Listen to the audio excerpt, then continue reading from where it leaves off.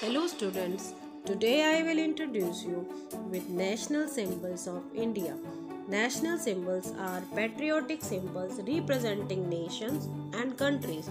National symbols try to unite people or send a message by representing the national people values, goals or history. Let's watch the national symbols of India. National currency rupees.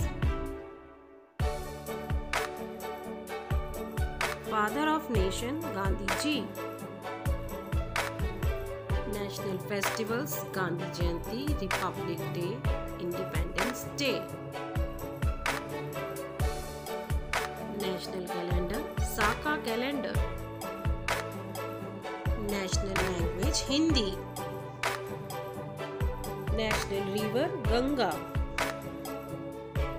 national park Jim Corbett National aquatic animal dolphin. National tree banyan tree. National sport hockey. National fruit mango. National anthem Janaganaman. National song Vande Mataram.